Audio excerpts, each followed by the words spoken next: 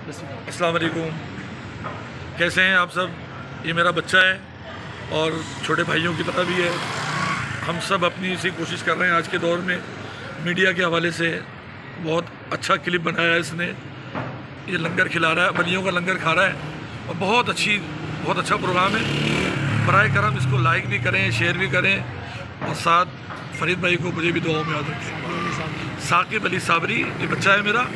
इसको ज़रूर लाइक करें और मौका मिले तो अपने अपने घरों में फ़ंक्शन में इसको बुलाएँ भी और मुझे भी दुआओं में याद रखें। अलैक्म